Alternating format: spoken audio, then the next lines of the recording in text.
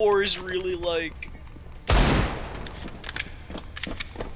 He's literally behind you, bro.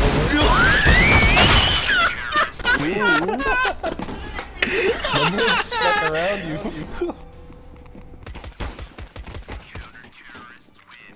Good job, Fred. That's so loud. Oh my god. You should shut up like that.